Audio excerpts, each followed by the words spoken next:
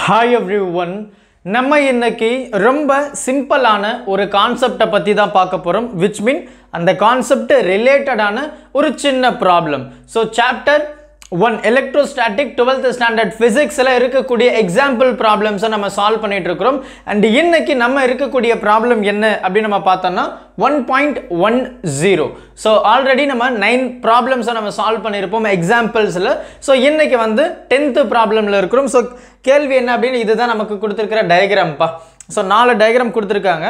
So let me say this is A B C and D இந்த நாலு diagram இருக்கு. சப்போ ஒவ்வொரு டயக்ராமுக்கும் நமக்கு வந்து என்ன கேட்குறாங்க அப்படின்னா calculate the electric dipole moment for the following charge configuration so இந்த மாதிரி சார்ஜ் வந்து ஒவ்வொரு இடத்துல நம்ம அலைன் பண்ணியிருக்கிறோம் அப்போ இதுக்கு என்ன டைபோல் இருக்க போகுது? இதுக்கு என்ன டைபோல் இதுக்கு என்ன டைபோல் இதுக்கு என்ன டைபோல் அப்படின்னு சொல்லி கேட்குறாங்க நமக்கு ரொம்ப சிம்பிளாக ரொம்ப ஒரு முக்கியமான விஷயம் என்ன தெரியும் அப்படின்னா dipole which is equal to two times of a q அப்படின்றது நமக்கு தெரியும். இல்லையா?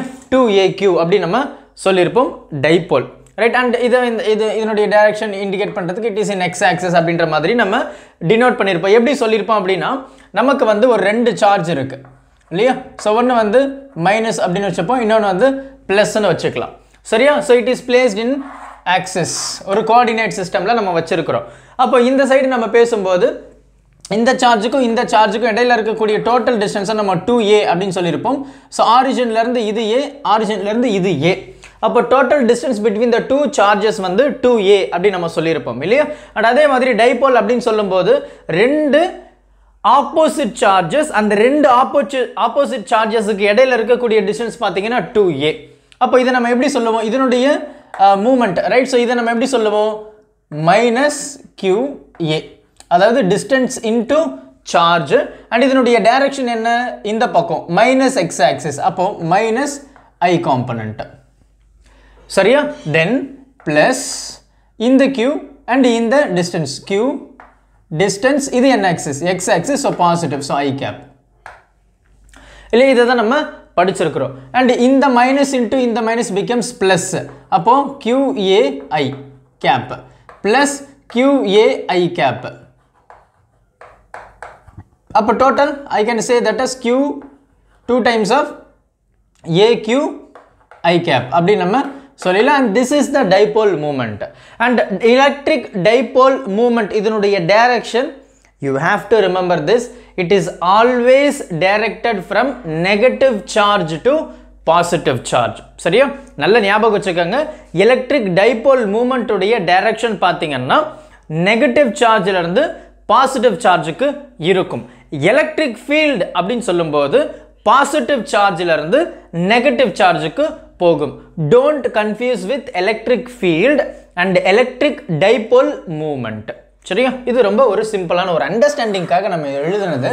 இப்போ நம்ம கான்செப்ட்டுக்கு போகும். நமக்கு இந்த ப்ராப்ளம் ஸோ ஃபஸ்ட்டு கேஸ் பார்த்தீங்கன்னா நமக்கு சொல்லியிருக்கிறாங்க ரெண்டு சார்ஜ் இருக்குது இந்த ரெண்டு சார்ஜுக்கு இடையில இங்கே ஒரு ஏ அப்படின்ற ஒரு டிஸ்டன்ஸ் இருக்குது இங்கே ஏ அப்படின்ற ஒரு டிஸ்டன்ஸ் இருக்குது பட் இந்த இடத்துல இதுவும் பாசிட்டிவ் சார்ஜ் இதுவும் பாசிட்டிவ் சார்ஜ் இது எக்ஸ் ஆக்சிஸ் இது ஒய் ஆக்சிஸ் அப்போ இதுக்கு என்ன டைபோல் மூமெண்ட்டு நம்ம கண்டுபிடிப்போம். ஸோ ஏ அதனுடைய டைபோல் மூமெண்ட்டை பார்த்தீங்கன்னா p which is equal to இந்த சார்ஜ் இந்த டிஸ்டன்ஸ் ஃப்ரம் த ஆரிஜின் இல்லையா? அதே தான் நம்ம இங்கே பேசியிருந்தோம். இப்போ ஏ கியூ இது நெகட்டிவ்ன்றனால ஐ கேப் மைனஸ் அப்படின்னு சொல்லியிருந்தோம். அதே தான் இங்கே சொல்ல போகிறேன் இங்கே plus charge q a distance and இது எந்த axis x axis but left hand side so minus அப்போ மைனஸ் ஐ கேப் இல்லையா? டைரக்ஷன் அடுத்து இங்கே பாருங்க. ஸோ ப்ளஸ் கியூ அப்படின்றது charge plus charge distance really sorry for that மன்னிச்சிருங்க. அந்த டிஸ்டன்ஸ் பார்த்தீங்கன்னா ஏ அண்ட் இதனுடைய காம்பனண்ட் பார்த்தீங்கன்னா இது. இந்த எக்ஸ் ஆக்சிஸ் எக்ஸ் கோஆர்டினேட் பாசிட்டிவ்ல இருக்குது அப்போ இது என்ன சொல்லுவோம்? ஐ கேப் அப்போ விச் இஸ் ஈக்குவல் டு இது ப்ளஸ்ஸில் இருக்குது அண்ட் இது என்ன? மைனஸில் இருக்குது இங்கே பாருங்கள் மைனஸ் ஸோ அப்போ இதனுடைய மொத்த டேர்ம் என்ன minus q a i cap அப்படின்னு இருக்கும். அண்ட் இது பார்த்தீங்கன்னா கியூ ஏ ஐ கேப் ரைட்டா அப்போ இதோட டோட்டல் என்ன? ஜீரோ இல்லையா? அப்போது இதனுடைய டைபோல் மூமெண்ட் என்ன ஆயிடுச்சு? ஜீரோன்னு மாறிடுச்சு. இப்போ பிக்கு பார்ப்போம். பியினுடைய டைபோல் மூமெண்ட் என்னவா இருக்க போகுது? அப்போ பி அப்படின்னு பேசும்போது நமக்கு ஒரு சார்ஜ் வந்து கரெக்டாக இந்த ஆரிஜினில் பிளேஸ் பண்ணியிருக்கிறோம். அண்ட் ரெண்டாவது பார்த்தீங்கன்னா இந்த பாசிட்டிவ் எக்ஸ் ஆக்சிஸில் நம்ம பிளேஸ் பண்ணியிருக்கிறோம். Let is calculate right so இப்போ என்ன பேசணும் அப்படின்னா இதனுடைய total dipole p which is equal to q a வந்து எதுவுமே இல்லை அப்போ ஜீரோ ரைட் அதுக்கு நம்ம காம்பரன்ஸும் சொல்ல முடியாது இல்லையா? எக்ஸ் ஒய் என்ன தான் இருக்குதுன்னு நம்ம சொல்ல முடியாது. ஸோ அந்த டேர்ம் மொத்தமாக நான் ஜீரோன்னு சொல்லிட்டு ப்ளஸ் அண்ட் இன்னொரு சார்ஜ் பார்த்தீங்கன்னா கியூ அதுக்கு டிஸ்டன்ஸ் என்ன? ஏ அது என்ன ஆக்சிஸ் இருக்குது x axis so i cap அப்போ which is equal to q a i cap so இதுதான் நமக்கு இருக்கக்கூடிய ஃபைனல் வேல்யூ அப்போது இந்த டயக்ராம் பியில் இருக்கக்கூடிய டைபோல் மூமெண்ட் பார்த்தீங்கன்னா a sorry q a or q whatever both are same இல்லையா? So q a i cap so இதுதான் வந்து நமக்கு டைபோல் மூமெண்ட் அண்ட் இதனுடைய வெக்டர் ஃபார்மும் யூ ஹேவ் டு மென்ஷன் சரியா? ஸோ முடிஞ்சது. ஸோ ரெண்டாவது. அண்ட் இதில் வந்து ஒரு முக்கியமான விஷயங்கள் சொல்லியிருப்பாங்க. என்ன அப்படின்னு நம்ம பேசும்போது இப்போ எனக்கு இந்த டோட்டல் டைபோல் ரைட் ஸோ இது வந்து எனக்கு ஜீரோவாக இருக்கும் பொழுது டோட்டல் சார்ஜ் வந்து ஜீரோவாக இருக்கும்போது we don't bother whether the object அதாவது whether the charge is in origin அந்த சார்ஜ் வந்து ஆரிஜினில் இருந்தாலுமே நம்ம கன்சிடர் பண்ண போ பண்ண போகிறது கிடையாது அப்படின்ற மாதிரி ஒரு முக்கியமான ஒரு ஸ்பெஷல் கேஸை பற்றி சொல்லியிருப்பாங்க. அதாவது எனக்கு இது ரெண்டு டோட்டல் சார்ஜ் ஜீரோவாக இருந்தால் ஜீரோவாக இருந்தால் அதில் ஒரு சார்ஜ் வந்து நான் ஆரிஜினில் ப்ளேஸ் பண்ணாலும் எனக்கு பிரச்சனை கிடையாது. ஏன்னா எனக்கு டோட்டல் சார்ஜே வந்து ஜீரோ அப்படின்னு சொல்லியிருப்பாங்க. அண்ட் இன்னொரு முக்கியமான விஷயமும் ஆட் பண்ணியிருப்பாங்க. ஸோ டைபோல் மூமெண்ட்டுடைய டைரக்ஷன் வந்து நெகட்டிவ் டு பாசிட்டிவ் அப்படின்னு சொல்லிட்டு. நான் இப்போ தான் அது இன்ட்ரொடக்ஷன்லேயே சொல்லிட்டேன். ஸோ டைபோல் மூமெண்ட்டுடைய டைரக்ஷன் பார்த்தீங்கன்னா நெகட்டிவ் சார்ஜிலிருந்து பாசிட்டிவ் சார்ஜுக்கு இருக்கும். எலக்ட்ரிக் ஃபீல்டு வந்து பார்த்தீங்கன்னா பாசிட்டிவ் சார்ஜிலிருந்து நெகட்டிவ் சார்ஜுக்கு இருக்கும். டோன்ட் கன்ஃபியூஸ் வித் தட் மூணாவது. இப்போ மூணாவது பார்த்தீங்கன்னா அதை விட ரொம்ப சிம்பிளுங்க. இங்கே பார்த்தீங்கன்னா நம்ம ரெண்டு கேஸில் வரைக்கும் எக்ஸ் ஆக்சிஸில் நம்ம ப்ளேஸ் பண்ணியிருந்த பார்த்தோம். இங்கே நம்ம என்ன பார்க்க போகிறோம் ஒய் ஆக்சிஸில் இருக்குது அதே தான் charge into distance from the origin அப்போ பார்ப்போம் இது என்ன ஆக்சிஸ் ஒய் ஆக்சிஸ் அப்போ இது வந்து ஜே கேப் இது வந்து மைனஸ் ஒய் ஆக்சிஸ் அப்போ மைனஸ் ஜே கேப் அவ்வளோதான் வித்தியாசம். சரியா இப்போ நம்ம ஆட் பண்ணுவோம். இதனுடைய total momentum electric dipole moment which is equal to let me say இது எடுப்போம் இல்லை இது எடுப்போம் நம்மளுடைய விருப்பம் தான். எது எடுத்தாலும் சரி we are going to add இல்லையா? சரி நம்ம இது இதுலேயே நம்ம ஸ்டார்ட் பண்ணுவோம். அதனுடைய சார்ஜ் என்ன? மைனஸ் டூ கியூ டிஸ்டன்ஸ் என்ன கொடுத்துருக்குறாங்க? இதனுடைய டிஸ்டன்ஸ் பார்த்தீங்கன்னா ஃப்ரம் த ஆரிஜின் ஏ அது என்ன ஆக்சஸில் இருக்குது ஒய் ஆக்சஸ் மேலே இருக்கா? கீழே இருக்கா? மேலே இருக்கா? அப்போ ஜே கேப் ப்ளஸ் இப்போ இந்த சார்ஜ் இந்த சார்ஜ் என்ன? கியூ அதனுடைய டிஸ்டன்ஸ் என்ன? டூ ஏ அது என்ன ஆக்சஸில் இருக்குது ஒய் ஆக்சஸ் மேலே இருக்க கீழே இருக்க கீழே இருக்குது அப்போ மைனஸ் ஜே கேப் அப்போ நம்ம எப்படி எழுதுவோம்? விச் இஸ் ஈக்குவல் டு இங்கே பாருங்கள் minus two q a j இது மைனஸ் ஜே ஸோ எப்படி பார்த்தாலுமே இதுவும் வந்து என்ன ஆகிடும் minus q two a j கேப்னு ஆகிடும் இப்போ ரெண்டுமே two a q two a q j cap j cap so j cap minus minus அப்போது எல்லாத்தையும் ஆட் பண்ண போகிறோம் ஸோ ஃபோர் இல்லையா? ஆட் தானே பண்ணுறோம் so minus two minus two becomes four அதே தான் நான் பண்ண போகிறேன் அப்போ four a q j cap அவ்வளோதான் இதில் எதனா சந்தேகம் இருக்கா? அப்போது இந்த அரேஞ்ச்மெண்ட்டில் இதனுடைய டைபோல் மூமெண்ட் பார்த்தீங்கன்னா இதுதான். Minus four A Q J cap அடுத்து இங்கே பார்ப்போம். ஸோ இந்த டயக்ராம் வந்து கொஞ்சம் டிஃப்ரெண்ட்டாக இருக்கிற மாதிரி இருக்கும். ரொம்ப சிம்பிள் தான். First we will add everything இதனுடைய டைபோல் மூமெண்ட் என்னவா இருக்க போகுது அப்படின்றத நம்ம பார்க்கலாம். So dipole moment P which is equal to இந்த சார்ஜ் இந்த சார்ஜ் இந்த சார்ஜ் எல்லாத்துக்குமே நமக்கு வந்து டிஸ்டன்ஸ் கொடுத்தாச்சு சார்ஜ் என்னென்னு கொடுத்தாச்சு. We're going to add simple அவ்வளோதான் மூணு ப்ராப்ளம் மூணு டயக்ராம் என்ன பண்ணுமோ அதே தான் பண்ண போகிறோம்ப்பா அப்போ பாருங்கள் இந்த சார்ஜ்லேருந்து ஆரம்பிப்போம். ஸோ இது என்ன? கியூ இருக்குது கியூ அதனுடைய டிஸ்டன்ஸ் என்ன கொடுத்துருக்குறாங்க? ஏ அது என்ன ஆக்சிஸ் ஒய் ஆக்சிஸ் மேலே இருக்க கீழே இருக்கா? மேலே இருக்குது அப்போ பாசிட்டிவ் அப்போ ஜே கேப் அவ்வளோதான் ப்ளஸ் இந்த சார்ஜ் பாருங்கள் என்ன இருக்குது மைனஸ் டூ கியூ அப்போ இங்கே நான் இங்கே எழுதிடுறேனே.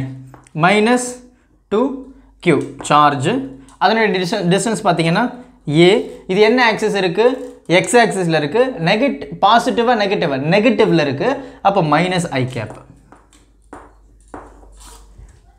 சரிதானே?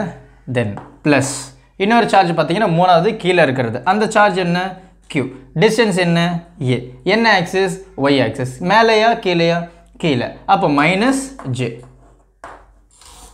அவ்வளோதான் அப்போ இதை என்ன சொல்லலாம்? QAJ இதை நம்ம என்ன என்ன சொல்லலாமா? இந்த மைனஸ் இன்ட்டு மைனஸ் வந்து என்ன ஆகிடும் ப்ளஸ் ஆகிடும் அப்போ two A Q I cap இது எதனா சொல்லலாமா? இங்கே மைனஸ் இருக்குது இங்கே ப்ளஸ் இருக்குது அப்போ minus Q A J cap இல்லையா? இது என்ன இருக்குது கியூ ஏ ஜே கேப் இதை நான் எதுவும் பண்ணல அப்படியே தான் பண்ணியிருக்கிறேன். ஸோ இப்போ மைனஸ் இன்ட்டு மைனஸ் ப்ளஸ் ஆகிடுச்சு ஸோ அப்போ மொத்தமாகவே எனக்கு ப்ளஸ் தான். இப்போ எதனா கேன்சல் பண்ணுவோம்னா கண்டிப்பாக நம்ம பண்ணலாம்.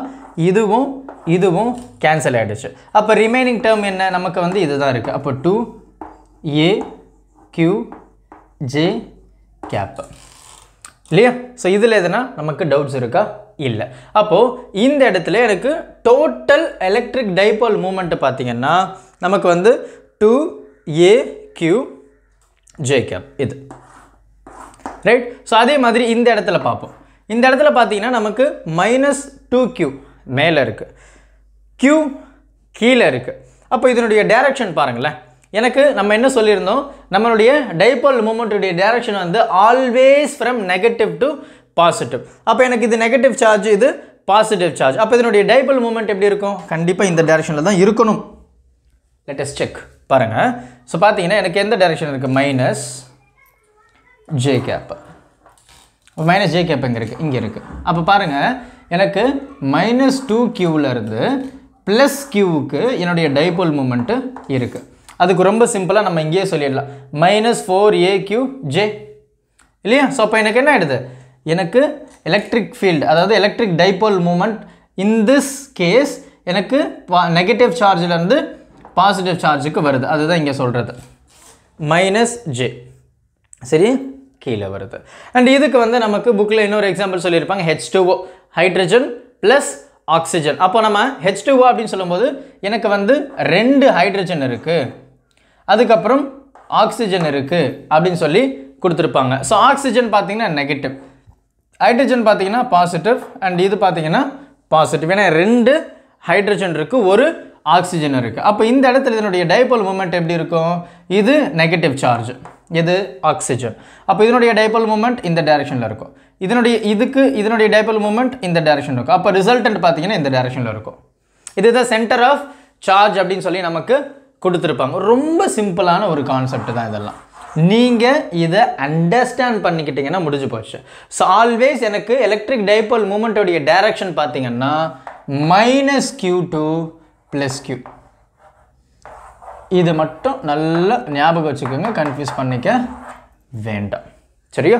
ஸோ பொறுமையாக பாருங்கள் இதில் எதனா சந்தேகங்கள் இருந்தது அப்படின்னா நமக்கு மறக்காமல் கமெண்ட் பண்ணிவிடுங்க அண்ட் இந்த ப்ராப்ளம் உண்மையாகவே ரொம்ப சிம்பிளான ஒரு கான்செப்ட் தான். நீங்கள் பொறுமையாக பார்த்தீங்க அப்படின்னாவே உங்களுக்கு புரிஞ்சிருக்கும். Thank you help this with a smiler